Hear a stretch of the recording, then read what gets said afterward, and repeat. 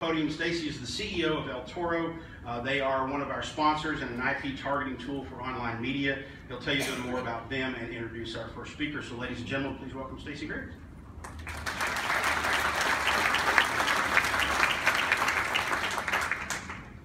Also, let's hear it for Jason. I mean, this event is phenomenal. Uh, it takes a lot of work to put together event like this, and I can tell you I've had a lot of phone calls, emails, and Jason's done a really nice job along with the LDA board putting this together. And I'm just happy to see this type of this type of event here on Wood where we can get together as a community and, and talk about interesting content things.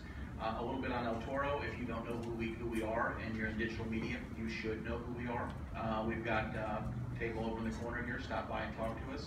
If you're a developer or a digital media genius, we're hiring. So I would like to talk to you personally. Um, and then you know just get to know us. Uh, let me introduce Dan Pfeiffer. Dan Pfeiffer served as senior advisor to President Barack Obama, focusing on communications, political, and digital strategy.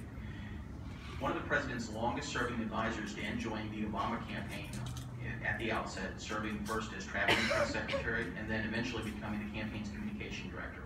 He entered the White House as deputy communications director, and by the end of 2009, he had risen to communications director. He held that post until his appointment to senior advisor in early 2013. During his time at the White House, Dan helped transition and helped transition the communications, sorry, I got these reminders coming up, uh, apparatus into the digital age utilizing social media like Twitter, Facebook, um, and Instagram, as well as uh, scheduling the first presidential interviews with digital media platforms like BuzzFeed and Vox. In 2015, Dan joined CNN as a contributor. Dan's a native, uh, native of Wilmington, Delaware. Uh, I lived in Wilmington, Delaware for 15 years, so Dan can tell you about the awesomeness of Capriotti subs or Wheaton's Water Ice. While he's here, we should introduce him to the awesomeness of Kentucky bourbon and hot browns. So, Dan Pfeiffer.